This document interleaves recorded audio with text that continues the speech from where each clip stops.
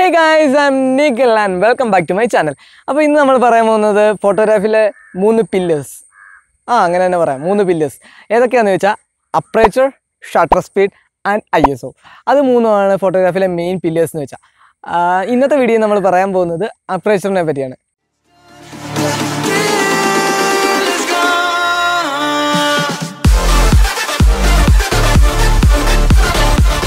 എന്താണ് ഈ aperture aperture എന്ന് വെച്ചാൽ സിമ്പിൾ ആയിട്ട് ഞാൻ പറഞ്ഞുതരാം. നമ്മുടെ ക്യാമറയ്ക്കകത്ത് പല ലെയേഴ്സ് ഉണ്ടെന്ന് നിങ്ങൾക്ക് അറിയാം അതിലൊരു ലെയർ മാത്രമാണ് ഈ അപ്രേച്ചർ ആ ലെയർ ഇത്രയും ഇപ്പം കണ്ടോ? അപ്രേച്ചർ വലുതാണ്. ലാർജ് അപ്രേച്ചർ എന്ന് വെച്ചാൽ കൂടുതൽ ലൈറ്റ് നമ്മുടെ ക്യാമറയ്ക്കകത്തോട്ട് എന്റർ ചെയ്യും. ഇപ്പോൾ അപ്രേച്ചർ സ്മോൾ ആകും തോറും ലൈറ്റ് കുറച്ചോ ക്യാമറയ്ക്കകത്തോട്ട് എന്റർ ചെയ്യത്തുള്ളൂ. അപ്പം സ്മോൾ അപ്രേച്ചർ കൊണ്ടുള്ള ഉപയോഗം എന്ന് വെച്ചാൽ കുറച്ച് ലൈറ്റ് മാത്രം വേണ്ട സിറ്റുവേഷനിൽ നമുക്ക് സ്മോൾ അപ്രേച്ചർ യൂസ് ചെയ്യാം.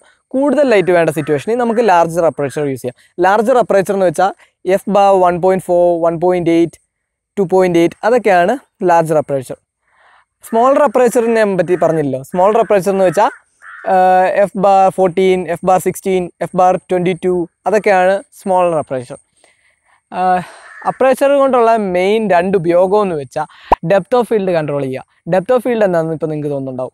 ഡെപ്ത് ഓഫ് ഫീൽഡ് എന്ന് വെച്ചാൽ ഞാൻ പറഞ്ഞുതരാം. ഡെപ്ത് ഓഫ് ഫീൽഡ് എന്ന് വെച്ചാൽ ഞാൻ മാത്രം ഫോക്കസ് ആയിട്ട് ബാക്ക്ഗ്രൗണ്ട് ഔട്ടായി കിടക്കുക.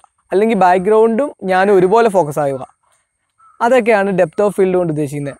നമ്മുടെ ഇമേജിലുള്ള ഒബ്ജക്ട്സ് എല്ലാം ഫോക്കസ് ആണോ അതോ ഒരെണ്ണം മാത്രമാണോ ഫോക്കസ് അതിനൊക്കെയാണ് ഡെപ്ത് ഓഫ് ഫീൽഡ് യൂസ് ചെയ്യുന്നത്. രണ്ടാമത്തെ അപ്രേച്ചർ കൊണ്ടുള്ള ഉപയോഗം എന്ന് വെച്ചാൽ ലൈറ്റ് കൺട്രോൾ ചെയ്യാം ക്യാമറയ്ക്കകത്തോട്ട് എന്റർ ചെയ്യുന്ന ലൈറ്റിനെ നമുക്ക് ഈ അപ്രേച്ചർ വെച്ച് കൺട്രോൾ ചെയ്യാം.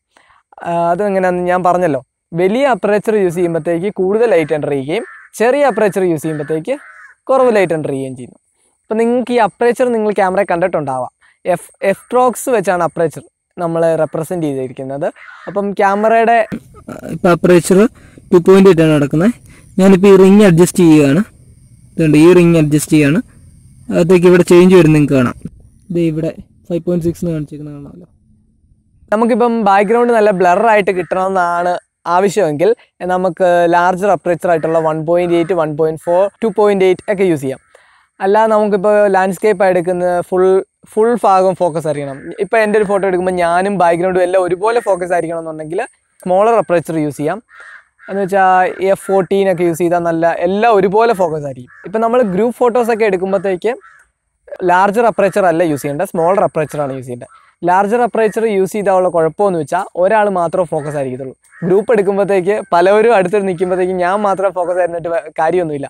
അപ്പം നമ്മൾ സ്മോളർ അപ്രേച്ചറാണ് ഗ്രൂപ്പൊക്കെ എടുക്കുമ്പോൾ യൂസ് ചെയ്യുക അപ്രേച്ചർ യൂസ് ചെയ്തേക്കുന്നത് ടു പോയിന്റ് എയ്റ്റ് ആണ് I S eight ഹൺഡ്രഡും shutter speed one bar one twenty five ആണ് യൂസ് ചെയ്തേക്കുന്നത്. അപ്പം ബ്രോഡ്സ് നല്ലതായിട്ട് കിട്ടുന്നതിന് വേണ്ടി നമ്മളിത് കണ്ടോ? ടു പോയിന്റ് എയ്റ്റ് ഇട്ട് കഴിയുമ്പോഴത്തേക്ക് കണ്ടോ? മാൻ ഫോക്കസ് ചെയ്യുമ്പോഴത്തേക്ക് ഇതുപോലെ ബ്രോഡ്സ് കിട്ടുന്നതാണ്.